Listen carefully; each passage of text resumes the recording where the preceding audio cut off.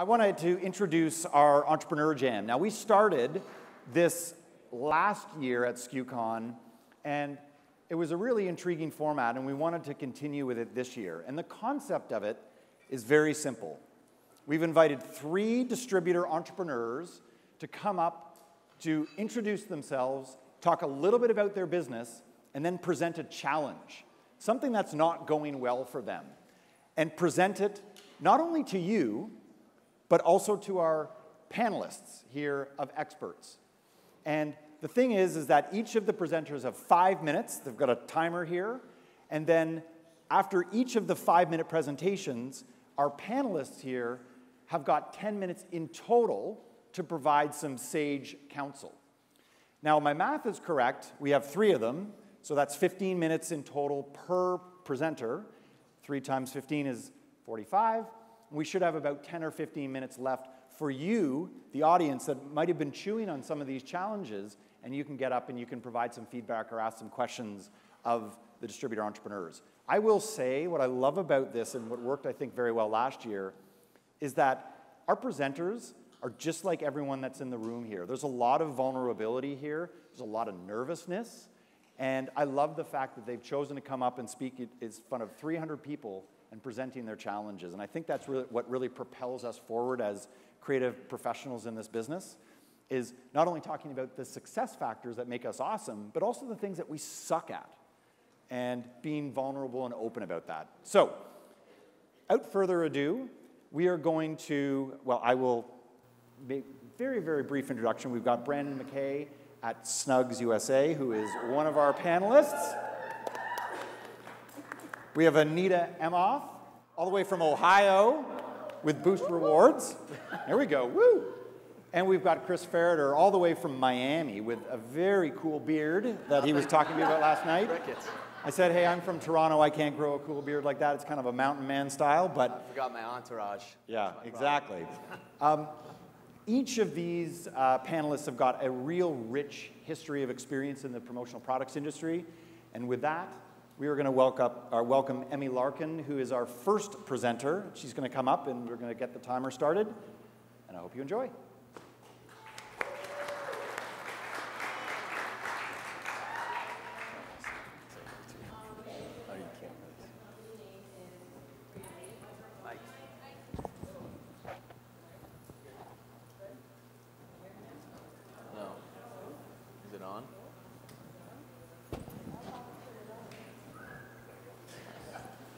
Good? Hear me now? All right, awesome. So my name is Emi Larkin. My company name is BrandMe. I'm, I'm out of uh, Scottsdale, Arizona. So five years ago, I completely got thrown into, the, into this industry as a joke. I uh, was just out of college with a marketing degree, and I knew nothing about promo. And what happened was, at the time, boyfriend, now husband, was putting up digital billboards in Fargo, North Dakota, which is complete polar opposite of Scottsdale, Arizona, which is where I live now. And he came to me and said, hey, listen, our salespeople are going out there, they're selling the ads on the board, but they're coming back and they're saying, the customers are asking for promotional products they can tie in into the board um, ads that we're running for them.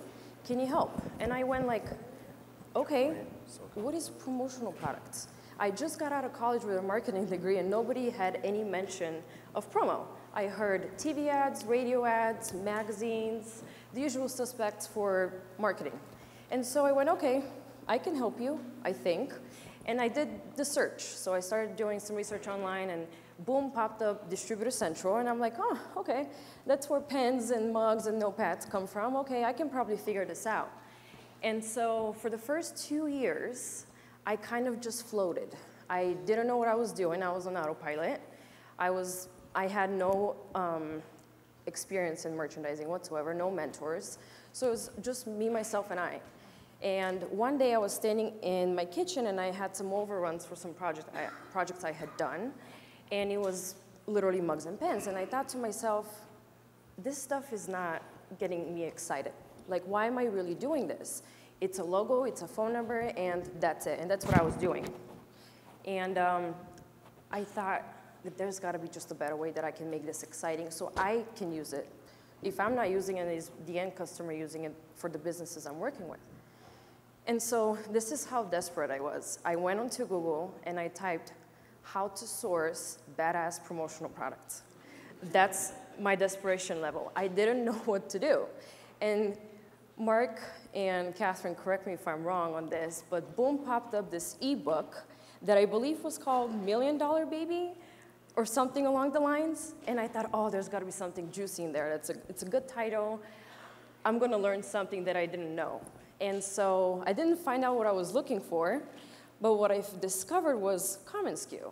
And I got introduced to a demo because I downloaded the ebook, so they got my info and I got signed up for the demo. And I was like, okay, like this is really cool. I was already struggling with how to present my um, ideas to my clients in a more creative way. And so I got introduced to Common commonsku. I'm like, okay, that's it. That's, that's an answer prayer on the back end of stuff. And so after I did that, um, jumped on, and here's what I discovered. I discovered this tribe of people that was doing things just the way I had imagined, but I went like, shit, I really gotta step up my game because these people are no joke. Everyone was doing exactly what I had envisioned, I just didn't know how to arrive at that point. And so I rebranded, so I went from Solid Distribution, which was actually an open LLC that I took over that my husband at the time had to just run this business as a joke and I rebranded to Brand Me. So it was clean, it was simple, and it was oriented towards the target market that I was trying to, to reach. So after I rebranded, I kind of arrived at these crossroads. Um, I'm passionate about the retail side of merchandise. I don't want to be everything to anyone. So I'm trying to niche out into a more retail inspired merchandise where I curate collections. So my two problems that I'm struggling with, which is question number one is how should I position the, my brand so I can find those clients that want those curated collection, collections of retail inspired merch? And my second question is how can I convert those current corporate buyers that are literally used to buying exhibit A on the left and I'm trying to take them over to exhibit B, which is something that's super retail and will give you way more ROI. You'll give more ROI to their clients and, and their businesses. So I don't know if I'm batshit crazy for wanting to niche out so deep into something like that that's totally retail oriented and say no to business that, well, let's face it, 5,000 keychains could have some good profit margins, but at the end of the day, that's not what I really want.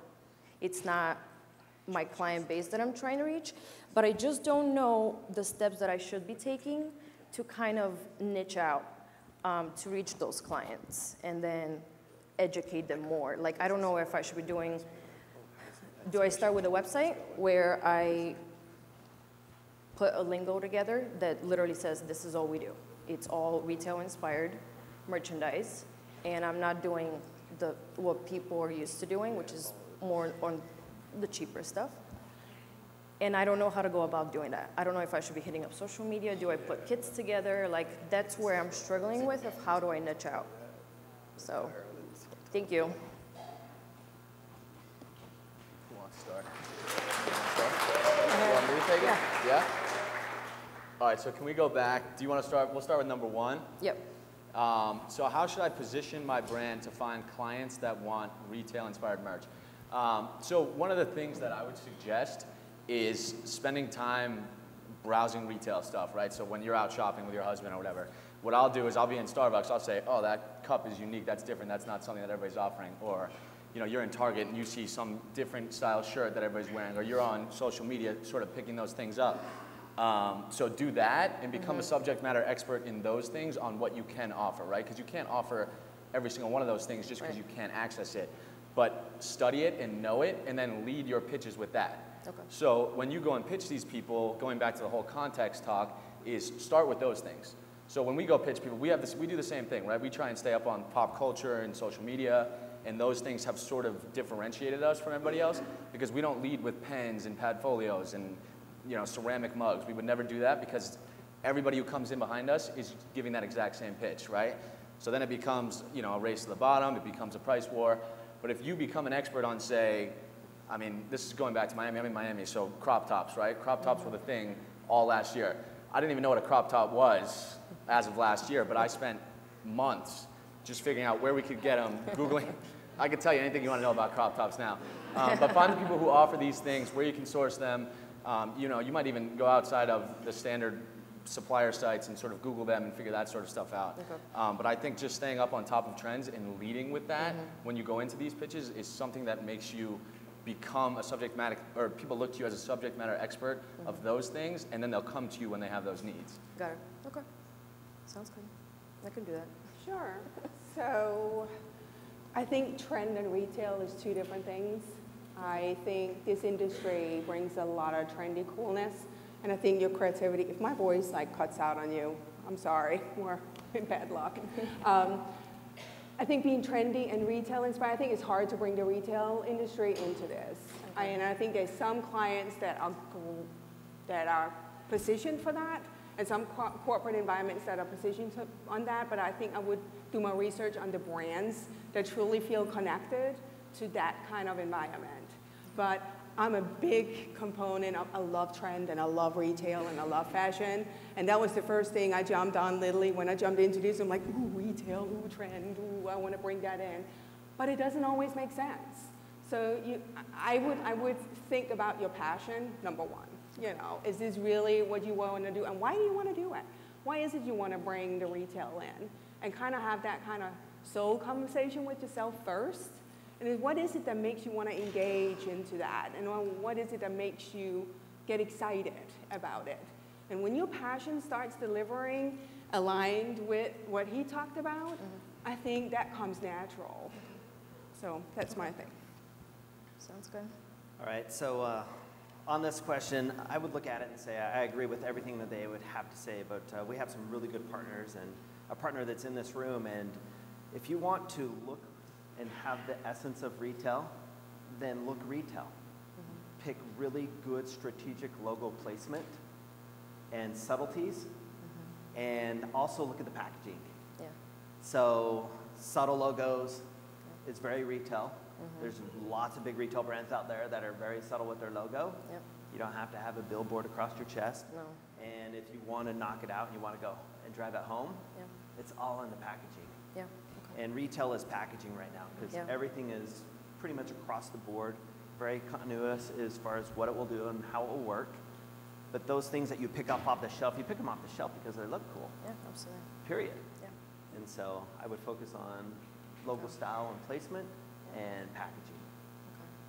Okay. And any thoughts on the how to convert that old mindset of the corporate buyer that is so used to buying the same old stuff? How do we yeah, bring so them over?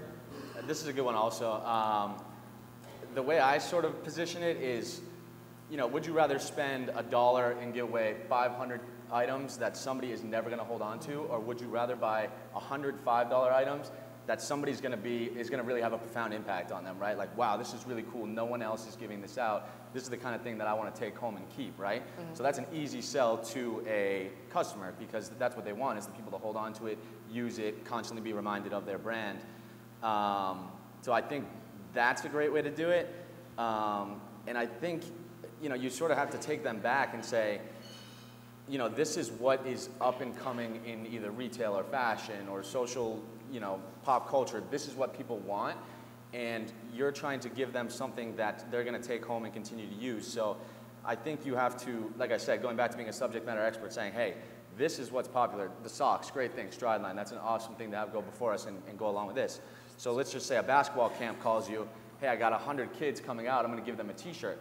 Well, you know, all kids want to wear now is, is those custom athletic crew socks. Um, pitch that, right? Because no one else is pitching that. Anybody can do t-shirts, but if you come in and say, hey, I can get a free spec sample delivered to you right away, show them that, that's an easy way to convert somebody over, and it's probably got better margins for you. Um, okay. Yeah, what kind of problems are you trying to solve? I mean, what is it? What's their goal? What's their objective?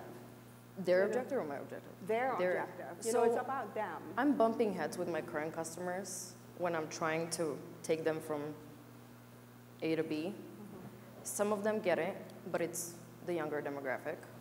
And I'm, what I'm trying to get to is when I'm starting to look, look for new customers, I'm trying to take your, I'm going to take your ideas and apply them so I can get that demographic that I'm trying to reach, which is the people that want to do something that is cool and useful and what Chris was talking about is just in general, it's, it's trendy and it's, and it's, and it's fun. So I just was struggling with how do I reach those customers and penetrate them so they can understand that this is where we're headed and that's the past. But My I didn't know how to position My position advice myself. to you is don't.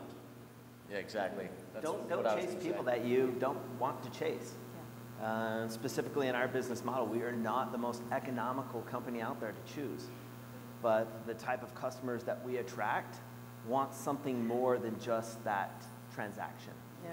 So if you want experiences and you want to have a relationship, Mm-hmm. choose customers that you want to talk to. If you're dreading having to call someone on the phone because they don't get it, Yeah. They're not going to get it. And it seems like a lot of tech companies are doing the stuff that we're kind of discussing right now, and they're, they've been very hard to reach. Um, they're big. They're typically the ones that have a little bit more budget, but they get it.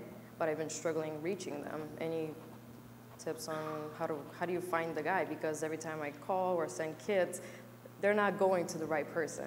Yeah, there's, there's no so- magic formula to find no magic guy, formula. you know? I figure, but I thought Um, it's worth the ask. But persistence and, and just keeping on asking for, all right, you're not the person, but who might be able to help me um, until you find the right person is, is sort of the way I would do that. And, and going back to that, where you say people are always asking for the same standard things, one of the practices that all our salespeople do is we say, hey, why don't you send me your logo and I'll put together 20 ideas that maybe you didn't think of and then see what you think of them, right? And the amount of wows or, oh my God, I never thought of that, that we get from that um, is amazing. So then when they come up to their next event, they're like, well, they came up with something cool. Let's do something different.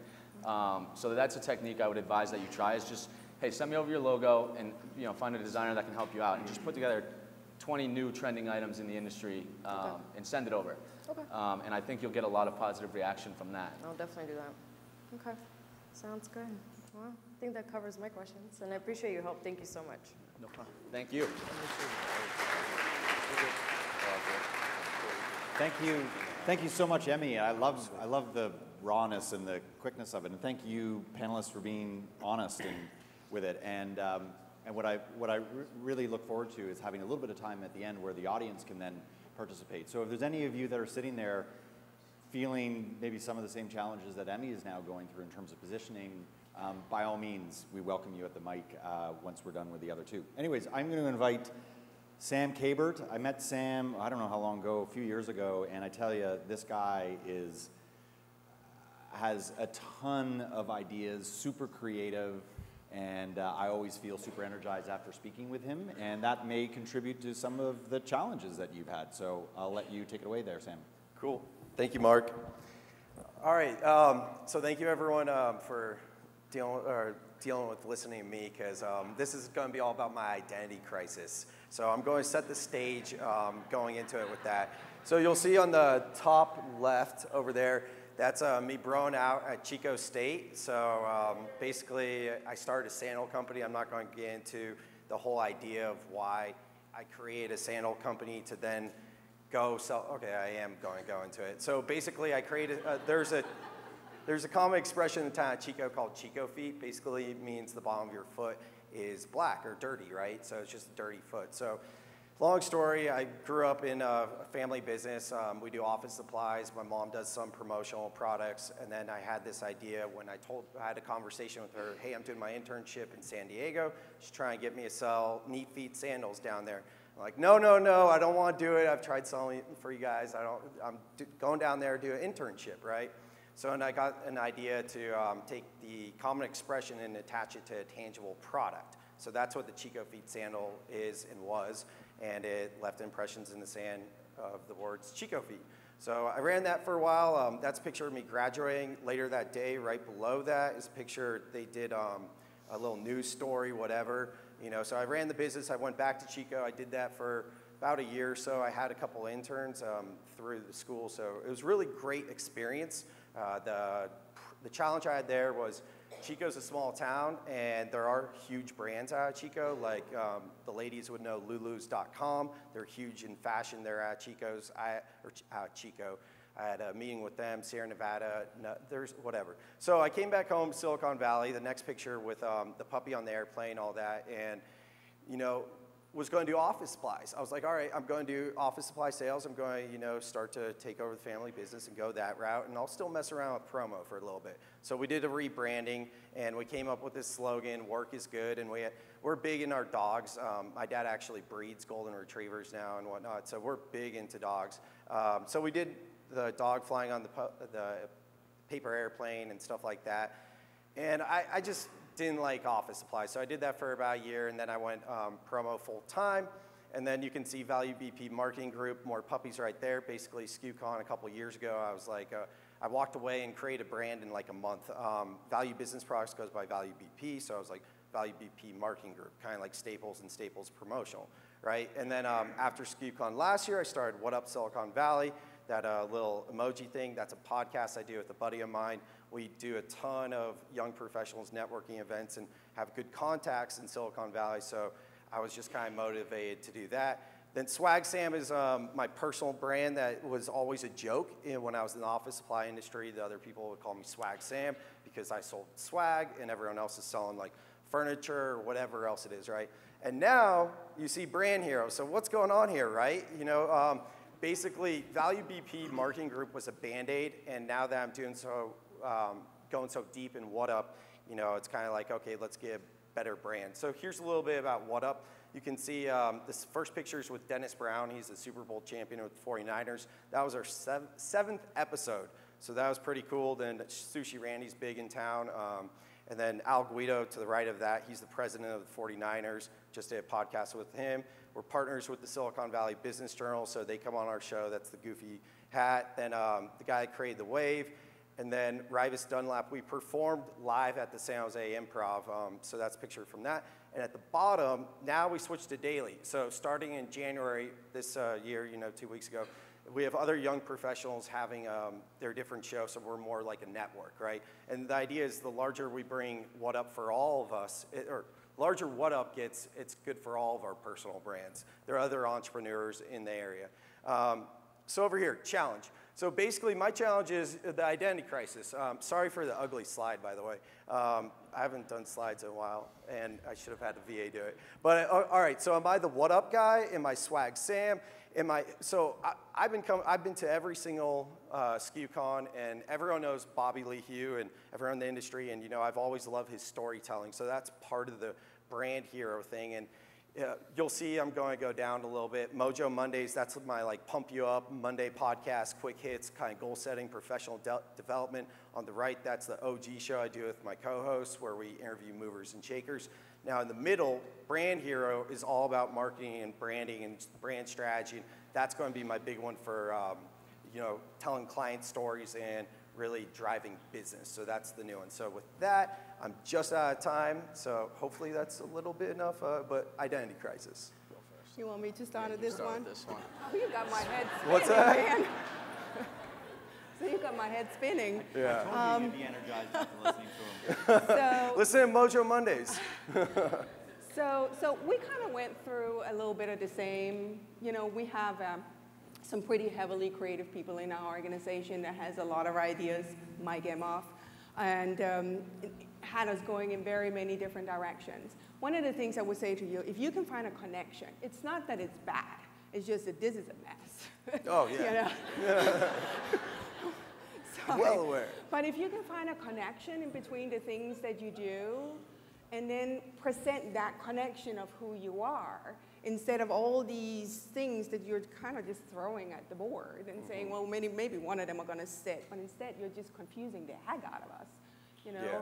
And I know you're great at all of these things, but just, just, just pick a lane, you know, or, or pick, a, pick a brand that encompasses these three cool things about you, you know, and then present them when it's, when it's obvious instead of just presenting all of it. Yeah. Um, It's good feedback. Mean, what, what is your ultimate goal in the end? Do you want to be into promotional products or do you want to be sort of, you know, this podcast personality and, and sort of an entrepreneur type guy? I mean, I guess because, when, first of all, when do you sleep? A. Uh, Well, that, that's what my co-host asked me. He goes, "Dude, do you ever sleep? Because like you'll get emails and texts for, at 3 a, 3 a.m. So So it's, I- it's I just a, a lot, but I think, so Brand Hero is the promotional products company that you want to do, right? And Swag Sam is like your sort of moniker in the in the area, I would say. Yeah, I'm working on it. So let me go back a slide actually for the sushi uh, one. So you see uh, Sushi Confidential Yeah. right below it says "Buy Sushi Randy." So Yeah. basically, we had it on a podcast, and I think everyone in this room could relate to it. You know, he'd say that anywhere he went, he showed up with sushi. So they called him Sushi Randy. So when he brought his, or when he opened his restaurant, naturally he wanted his personal brand. Well, where we can relate is all our friends think of us as the swag people. Anywhere I go, I'm giving my friends the cool swag. You know, what up, Strideline socks? All we're known for our Strideline socks. Shout out Stridelines, they're awesome. So um, yeah, All right, so but, but when people think of me, they think of me as Chris from Sobe, right? So eh, what I would say is either go with Swag Sam and get rid of Brand Hero, or go with Brand Hero and get rid of Swag Sam, right? Because now you're just confusing them um, in almost, it feels like two brands, but it's really the same brand, and then it's you, right? So Swag Sam would work, right? You, you know, let's hit up Swag Sam. He's going to get us something to give out at, you know, the next trade show or something like that. Um, I- just think you've got to get rid of one of those two and consolidate it, and then use that with your with your podcast, right? Or not, let's say Brand Hero by Swag Sam, exactly. Um, so it could be the presenting sponsor or something along those lines. But my advice would be immediately to get rid of one of those two, and then concentrate strictly on that. My question is, uh, what do you want to do? I don't think you have a brand identity. I think you have a career identity. Yeah, uh, exactly. And I forgot to ask your or answer your other question. So, um, good friend Kirby Hasseman, uh, you know, I look up to him in the industry for what he's done in the uh, personal branding and that type of thing. And for me, you know, I'm not the biggest Gary Vee guy, but we all know Gary Vee, so let's use that as an example. I'm huge into goal setting, professional development, motivational type stuff. So I want to be the swag, you know, personal brand type thing. That's not like a power statement, but you guys get it. So. Does that answer it? No. Oh, okay. I mean, So I think you need. I think you. I, I think you need to back up and try to restate that, All right. so that not just me sitting here, you know, that everyone in the room can understand. Are you asking us a brand question, or are you asking us an identity question? it's an identity because I'm trying to tie them all together somehow. I don't know. So I'm a very simple creature. I'm not. I can't. Anybody that knows me knows that in my history I've been very unsuccessful when I deviate from where I'm successful. So I can chase it with money, but mm-hmm. regardless of the amount of money or time that I throw at my venture, I won't be successful at it because I, I, I have a deviation of interest. So I would say you have an identity problem, and that identity, identity problem needs to be answered by saying, what do I want to do? You know, if being a podcast guy Yeah. is what you want to do and you want to create content for five days a week and then throw up a, a you know, a, a remote for Saturday and do something really fun, then I think that's awesome. Build a business around being a podcast guy, you know. But if you want to be the swag guy, you know, and and I don't, you know, it reminds me of like you know, uh, like on Breaking Bad, you know, like call Saul, you know, like there's nothing bad with being the swag guy. He's a Yeah. good attorney, you know, call him. Yeah. So, and it's very unique, and I think it's very catchy. And if that's your passion, then you know, change your passion. But to this is very, you know, like Anita said, this is very confusing because I don't think your challenge is asking the right question. That's, that's good feedback. Appreciate that. But you have tons of energy, obviously, standing here, and, and you have very unique brands. I just think you just need to choose the horse you want to ride. Yeah, you know, one of the things um, I'm so grateful to be, you know, presenting to all you guys and getting the feedback from everyone. And it's just, um, I've talked to people outside the industry and not so much in marketing or whatever. To me, like Swag Sam doesn't seem like it's a legit business. I can't imagine my admins at like big companies like, oh, call Swag Sam's. You know, like it just, it, you could be, but if I want to go super douchey and do that, like I, I'm okay with that. So, just being real. Well, then you answer the Then you question answered you're your Well, own so, Yeah, exactly. so maybe I do. Badass the brand. I'm all about badassing the brand. So I mean, that's what we do. But yeah, I think it's awesome. Swag Sam has got to go then, I guess. Yeah. or that is it. Yeah, one of the two. So, cool. Sounds like that's. I don't it. think energy will be your shortfall. No, I don't think so. Yeah, I just think one. I just think you got to pick one or the other between Swag Sam and Brand Hero. I don't think they can coexist, from what you've told us. And I, I would choose one, and I don't think Swag Sam comes off that. Like I'm, I'm sure we could go and find much douchier people who have been very successful. Uh, For sure. You know. Yeah. So. Cool. It's also about building trust, you know. I mean, in your own personal brand. So um, there's not a lot of trust being built here either. Oh, another thing too. No, never mind. You got you got, got two minutes and 45 Oh, yeah, seconds, oh, oh. man. The floor is yours. Floor's mine. Okay, cool. So, um, well, I mean, Swag Sam's more like the persona. It's the character. It's not so much like if you look at the Mojo Mondays logo, and it's just like Mojo Mondays with Swag Sam or Brand Hero with Swag Sam. But like the business, I don't think I would go like the Sushi Confidential by Sushi Randy. Like I don't think I would go Brand Hero by Swag Sam. I think I would just go Brand Hero. So you know? invest your time in that. It sounds like you invest more time in Swag Sam in these in these podcasts than you or, or, or if that's what you want to do, invest your time in that and concentrate on that and make that your business. Or say I want to concentrate on Brand Hero and then use that story as what you podcast about or bring that in. Right. Most of the most of the best podcasters that we listen to built something from nothing. Right. Andy mm-hmm. Frisella is one of our customers. 1st Form, Right. He built 1st Form. He has an amazing following because he built something where he slept on a mattress for 12 years in his supplement store, and now he runs a $100 million business because he put in the effort and concentrated on that, and now he's giving back to people and sort of doing the podcast route, right? So that would be my advice. Concentrate on the business, build the business, and tell that story. And I think that the business is built. Like I mean, uh, n- not to be cocky, but I spent like 50% of my time last year on What Up, and my sales went from like 750 to 712. So, I mean, I, what that tells me is I build out the personal brand more, and then once I have a nice like foundation with knowing what my identity is and having systems in place, Wait, you spent sales. 50, you went 50% on your personal stuff, and, and sales my declined? sales didn't suffer, barely suffered. I mean, I mean they it's- it's declined. flat. That's right? flat to me. I mean, No, that's a I, decline. I'm, I'm, all I'm saying is when I'm spending that much of my time All right, on so then, something there- else. then there's your answer. You don't point. want to grow the business, right? You're okay where it's at, and it's Oh, I'm sustaining perfect itself. where it's at, yeah. Okay, so there you go. Then work on your personal brand. Yeah. I think that's the answer, and that's what we're sort of trying to figure out here. But I think that's your answer. If you're comfortable at 750 and you want to stay right there, then co- then concentrate on your personal brand, and I think that's the answer for you. No, well, that's what I am doing. But what I'm saying is I'm rebranding Value BP because it was a band-aid fix for like Yeah. the swag business because Value BP is the dumbest name. Like it's just, it's nothing, right? So I'm trying, like, would it make sense to go, what up swag? You know, but that, we talked about that and it doesn't really make sense. But it would help, you know, keep it more simple without so many different brands. You know what I mean? Sort of, yeah. Yeah, it's confusing. it's all good. But that, that was a lot of good uh, advice and uh, tips, so I appreciate it. Cool. Awesome. Thank you. Thank you, Sam.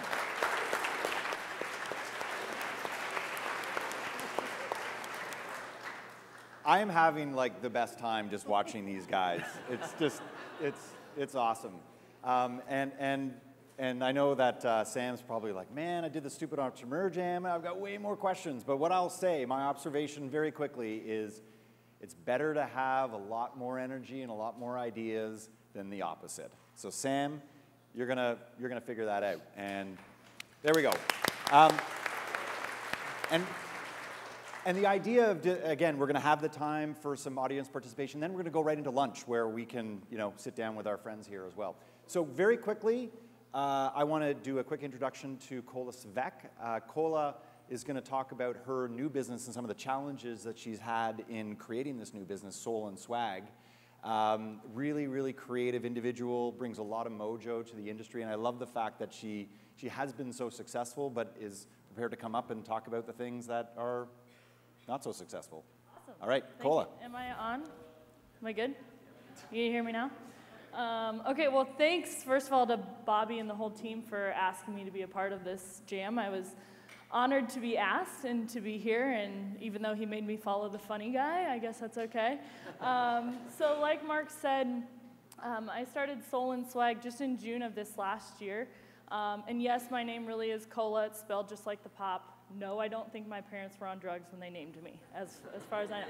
So get that out of the way. Um, but we started Soul and Swag in June. I grew up in the industry and uh, just kind of fell in love with it. Used to fax orders into suppliers, did all that stuff back in the day. So I really was submerged early on and uh, became passionate about it. I got into the industry about four and a half years ago, and um, yeah, back in May, it was just time for some life changes. So my mom and I, which she's here filming me, of course, um, Angie and I started Soul and Swag in June. We came up with the name and the tagline in less than 72 hours because I needed a business to send my orders through. So when we started, um, you know, there were people that recommended to me, why don't you just take your book of business and go send it through a big house? And I thought about it, and it didn't. There was something that didn't feel right about that. Um, it was I had a, a vision already before we even had the name of the company that I wanted to own my own someday, and I wanted to build something that was empowering and had people work there that loved what they did and understood this industry. Because if you're outside of this industry, people barely even know what it is. So um, of really spreading that, and that's where the tagline kind of came from was positively different. We're based out of Omaha, Nebraska, and um, for those of you who have never been there, which is probably a lot of you, trends tend to hit the coasts and slowly come to Nebraska. Um, so we want to bring that faster and bring, you know, meeting people like you and um, being around innovators and great people and get that to Nebraska faster. Get people doing things differently, which we heard about this morning. Um, so with that being said, just a little bit more about us. We believe different is good. We believe in being a consultant. So um, really of using that word more than a salesperson. Um, of learning the story of a brand and then matching brands with suppliers who truly care, which um, I think it's a testament to what commonsku is doing because that's who's in this room, our suppliers and uh, people who really care. And then we believe in giving back. Um, for those of you who were at SKU Camp and listened to Danny speak, and I asked him, I was like, I want to give back, I want to do that, but I don't have any money. So um, we're trying to give back in other ways, giving time right now and eventually being able to do that down the road. So that's a little bit about who we are. Um, and then we started creating these soul storyboards. So um, this is a customer that's a nonprofit organization in Omaha that employs the blind and visually impaired. They went through a whole rebrand this year, and we helped them do that. So finding products that fit with their brand. Um, oops. Then another one that was just kind of corporate gifts. And um, then this one for a local cookie company. And so, really, my question, my challenge is figuring out the road to growth. Um, just this last week, before or after I had done this presentation, we finally have found an office space, we think. Uh, we've been working out of my mom's second bedroom of her apartment, which has been lovely. Uh, it's just a little tight. There's four desks that we've kind of played Tetris with to fit in there. It's been great initially, but um, hopefully the next step is a space and a you know a showroom to have our clients come to. But then what's beyond that? And I have this vision of growing a, a company that people, like I said, want to work for. And we have a lot of fun and um, really helping people tell their story. But what does that actually look like? Um, on a daily basis, weekly, setting goals, um, hiring staff responsibilities, and then as we bring people on, and I'm meeting more people, my mom is, and getting more clients, client distribution, where does that go? How does it you know, what do we currently have and what should be distributed to other people. Um, and then any best practices you recommend. So from SEO to social media to outsourcing some of that stuff. So um, yeah, I guess what you've found that's, that's worked, some, some advice on kind of the next steps over the next few months and then into the next couple years. So that's all I've got.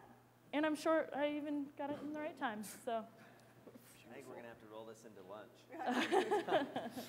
There's a lot of questions on there. There are. There's like 18 questions in one. I'm sorry. Um, so maybe if you could just identify maybe one specific area that you would like a an answer on. Yeah, I guess more just in the next like three to six months of um, you know hiring people to help. Like right now, I'm working on Sunday afternoons and you know all of this, and I'm fine with that. I love it. I'm passionate about it. I'm doing all the billing and all the back end stuff right now, and then um, obviously my mom and then my aunt works for us and does the order processing. But of what makes sense next. Is it hiring a bookkeeper? Is it hiring um, somebody that does inside stuff, trying to find someone that is ready to do outside sales, kind of that part of it in the next three to six months? Um, or if you've had an example where you're like, well, don't do this, or something like that. Don't hire Got a lot of crappy those. people. um, no, uh, maybe just top of mind. So one would be yes, uh, slow to hire, quick to fire, was has always been something that I've struggled with. You get excited about someone, right. and then if you would have just asked one more question, you would have found out that they were not the right person. Okay. But uh, past that, um, I would look to hire people in areas that you don't want to be responsible in. So I don't love accounting. Mm-hmm. Me neither. I hate we it. share that. so um, to, to sit down and to, to dive into a balance sheet or look at a P&L, I mean, it's like, oh my gosh, mm-hmm. you know, it's soul soul sucking for me. so you, you look at people that are really creative and really good at that area that are uh, attributes to your weakness, and and I would focus on that. If it was just specifically say, hey, I want to scale in hiring, where should I go 1st I would hire first for what you don't want to do. okay. Awesome. Yeah, I, I think when I sort of look at this at the, at the stage you're at um, in terms of staff, first of all, the most important thing to keep in mind is your company culture, right? Because it- that's something that once it's gone, you can't get it back, right? So, and that starts with the hiring process. So find somebody who sort of fits your mold. Um, and we often hire from outside of the industry because we don't want them to come in with certain mindsets from different companies that that's how they should sort of handle certain situations. So we hire from outside the industry and then we sort of mold them into our company culture because uh, you know, we're 15, 14, 15 people now, but that's still very important to us is that core culture and making sure everybody believes in it. Um, and then I think at this point, you're probably still too small to start looking at hiring for specific responsibilities, right? So what I, I was in the same spot. It was me, and I did the invoicing, the follow-up, the artwork, the billing, and I hated it, right? I was like, all right, I need to find somebody who, I'm very non-organized, and th- I went and found, you know, my now business partner who is insanely organized, and he's meticulous, and he's the kind of guy that drives me nuts, but that's what I needed, right? Was I needed somebody like that to say, all right, I'm going to follow up with suppliers, and then I'm going to invoice for you so that I could continue to sell and grow the business. Um, but we didn't have particular roles until we probably got to like 10, 8, 10 people, and then we stepped back and we had a huge meeting. We said, what goes into every single process that we do, right? When somebody places an order, what has to happen? And then we divvied up roles. We said, all right, so you're going to process the order and you're going to see it through from the proof process to approval, and then it's off you and it goes to him, who's then going to invoice it and follow up on payment, right? Um, so I think as you grow, keep a list of all of the things that you have to do to process an order from start to finish, and then step back when you get to a certain point where you say, all right, the two of us or the three of us, the four of us can't handle it, and start divvying up roles. Okay. Um, Awesome. So have you ever owned a business before? Nope. Okay. First time. So I would probably start differently. There was, there was this wise man that once told me, I don't care if you got to operate a popcorn stand, you create a strategic plan. That might be where you want to start. And just create a strategy around your business first, and then at least you get into that strategy mindset of how to run your business. And then you start attacking tactical items. I can tell you when I stepped into the business, that was the first thing I did because it was all over the board. I was like, holy shit, how do, how do I do this? And I, I, I went with an uh, association out of, um, out of Ohio, and they helped me through strategic planning and really thinking how to lead and run a company. And I, that's what I would do. I would first get some truly leadership and business advice on strategy. So you can be successful in, in making decisions the right way. Culture is another thing, it's huge. But if you don't know how to run a business and creating strategy around it, it's gonna, in my opinion, that's gonna be tough. Okay. Awesome. So yeah, then I guess just some best practices with. Um, we've met someone who does some great things in the in Omaha with SEO, and um, it's helped a lot of different types of businesses. And so we've talked to him about doing our SEO and helping us with more of that. But on the back end of it, you know, you don't know what's going to happen as he starts helping us with that. Is it going to take off and be great, or is not really anything going to increase for a while? So of, of being ready for that, I guess, that's kind of my hesitation with it. Um, and then anything else, whether it's social media or outsourcing those things to other people. I guess my struggle right now is probably the strategic plan part, part of it, of what comes first? What do I have to do first? And then what's what's after that but at the same time you can't i can't just not have social media until i get through steps one or two you know what i'm saying so really what are the right steps to take to to grow a business I mean, I think the number one thing that I could recommend for you is to build trust with your current clients, right? Mm-hmm. So when you build trust, you know, going back to trust, trust is a major thing because when their need arises, they're going to think of you, right? So Right. when something happens to you that you need, you know, something in your life, who do you trust? Your mom or, or someone else, a relative. So you call them first. So when all of a sudden they need t-shirts for an event, they're going to call you, right? And the one way, we don't spend a ton of money on marketing um, at all. And we do it all by word of mouth and referrals because people don't really have a really good promotional products person that they like. And if you make them happy and come through over and over and over, they're more likely to refer you to their friend when they say, hey, who did the t-shirts for that event? Oh, well, I talked to, you know, Cola over here. And, and um, so I think word of mouth is the best way to grow a business, uh, especially in the, in the early stages. Um, so I used to dr- drive around Miami and drop off all of our orders just because it put a face to the, to the business, right? Um, and then slowly it just started snowballed, and, and now it's, I don't even leave, and I'm getting phone calls, hey, so-and-so gave you your name, or so-and-so gave you your name. So, so I, what do you do with that then so they call and they say so and so gave me your name I sell them product. You do. I mean, I'm just. no shit. No shit. Um, I just mean like, is it is it you? You have this staff now. Yeah, So is so- it you taking it and doing like the presentation and ideas, or you're working on the idea and the project, and then somebody else actually goes and does the presentation or Yeah, whatever? so now, now, I mean, if it's a, if it's a core customer or somebody that has huge potential, I'll handle it. But we have inside sales guys who will say, all right, this is sort of a pre-qualified lead. We already know what they want. I'm going to hand it off to him and let him finish it, right? So he doesn't have to go out because he's not comfortable going out and getting that business. But once it's there, he's very confident and he can sort of process it. Um, and now we have a team of sales members where we'll say, you know what, I don't have the time to handle this. I'd rather get the business, so I'll just hand it off to them and let them sort of right, process it. service them or. Um, But obviously, social media. I mean, you know, you don't have to do anything crazy. Just keep your culture and your and reflect your brand in your social media. Share products that you've done, and then you know, SEO. That's the greatest dark arts there is. You bring in ten companies, you'll hear ten different things about. You know, I wish I started an SEO company because I could have just lied my way through a half these presentations. Right. Um, but just make sure you ask for client referrals of people they work with and get a bunch of opinions on sort of their work. Um, but I think that can be a back end thing as you start to grow and have some money to spend on marketing. Okay. Um, I, I, would, I would concentrate on your customers now and work on word of mouth referrals. How can, you know, do you know anybody else that might use my services? For sure. I'd agree. So if your book of business is Omaha, Mm-hmm. focus on Omaha. Yeah. And I don't think you need to focus on SEO if your book of business is Omaha.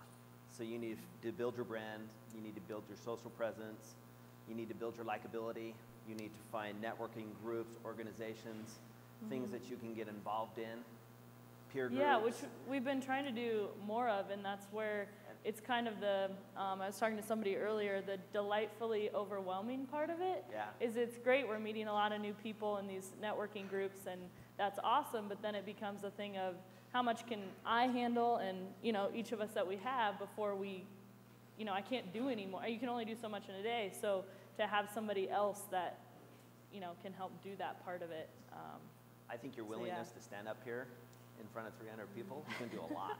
well, thank you. So I would never shortchange yourself, and I think you have a lot to offer. And again, your willingness you. to stand in front of 300 people and ask these questions, I think you get it. Well, thank you. I appreciate that. Awesome. Thanks so much for your Thank you. for Thank, thank you, Cola. That was, that was awesome. So, by my count, we've got eight minutes until lunch. I said that we'd run this like a Swiss train. I know people are hungry. So, if there are folks that have comments, uh, questions, uh, feedback, you can either head up to the mic so we can all hear you a little bit better, but if you're in an awkward spot, just yell and we'll repeat the question.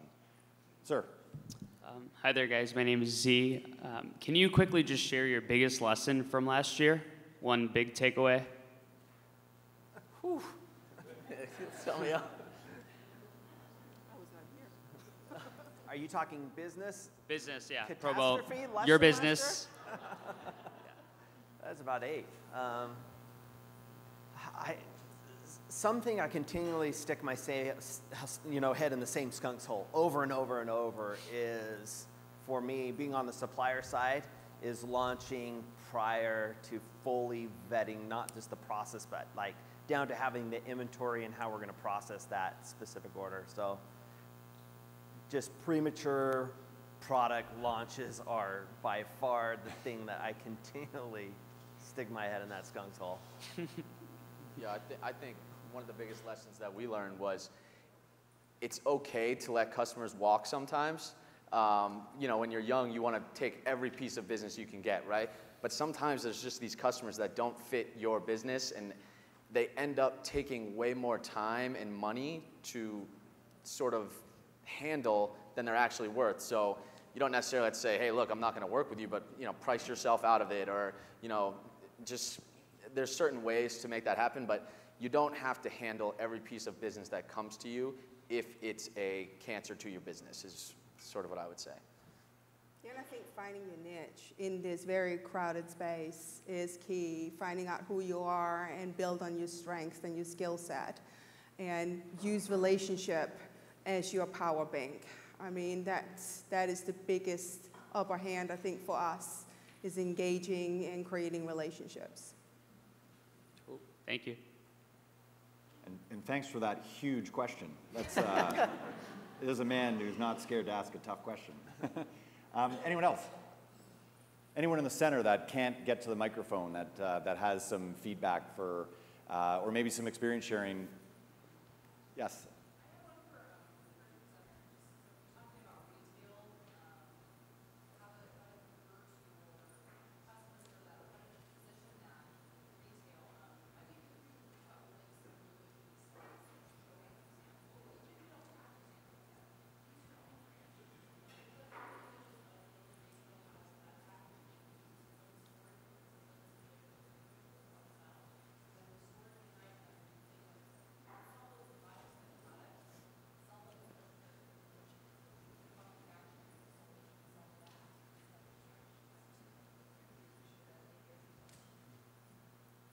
Awesome.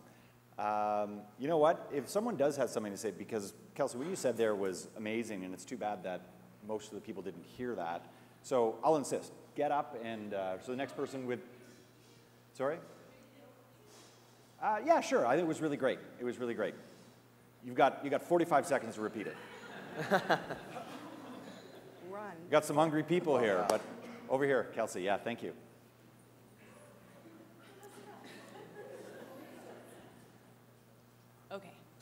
Test, test. Awesome.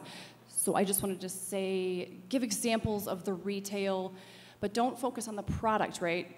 A lot of times we get caught up on selling that product. What does that do? Uh, sorry, focus more on what it does, right? What's the outcome? What's the story that that product's going to tell, as opposed to just what the product is. So, does that make sense? Awesome. Yeah. Cool. I think there was one more hand. Uh, Kate, is it you? Yeah. Okay. Um, the last person was tall. Um, so I've just noticed like a lot of what Snugz is doing is like with Clearmount as a brand and SIG as a brand, I'm trying to really grow them as like solid brands that people ask for. They don't want an X award, they want Clearmount's award. So when you are building your brand, even for SoBe or Boost, is like how do you go that it's a SoBe promo that we go with or it's a Snug items we go with? Do you have an actual strategic plan for your brand or are you kind of like, this feels good, let's do it? I mean, I think. Um, I mean, I've been around for a while, unfortunately. and so uh, I think at this point and this juncture of Snugz as a brand, uh, and I think the people that are on board and the leadership and, and where we want to go, uh, we just want to have fun at this point. And we want to put out content that is as enlightening and, and humorous, and we want to have people in the office that are, are a joy to be around. And I think that is really just our, our strategy at this point right now is just we have so little time, and time is so finite that I think we have just evolved over time of, of beating our head against the walls. All right, now, no, we just want to have a good time. We want to have good relationships with our customers. We want to put out fun content. We want to do crazy video. And does it convert? I don't know. But coming in on Monday seems is a, is a good time. And I think just that formula for us has been, has been wildly successful. Yeah, and I think for us, we don't necessarily, I, like I, I always look at our brand as a, as a service, right? We're sort of selling an experience more than an actual product because there's nothing that I sell that anybody in this room couldn't source and sell to our customers. Um, so we make sure that when you leave or you have the final end product, your experience was amazing from start to finish. Um, and I think that's very important is people don't think about the experience of actually buying something. So how quick was response rate? Um, did the virtuals look good? Did it come back exactly as you showed it? Did you follow up after you sold it? Um, and I think also share your success stories, right? So one of the good, one of the things that we do well in branding is we share our success stories via social media. Like, you know, X client did this and it was a huge hit here at the trade show. Check it out on this video. Um, I just think certain things like that go a long way in branding. Um, but keep in mind, there's, you know, you, you really have to take step back and look at your brand and find out what your core values are and say, this is what we're going to concentrate on. Because everybody wants to try and do so many different marketing things, but you'll run, you'll sort of muddle the what you're trying to say um, by trying to take on too many things with that marketing, if that makes sense. So concentrate on what's working, invest in that, and, and go from there. So. All right, thank you so much. What an awesome morning.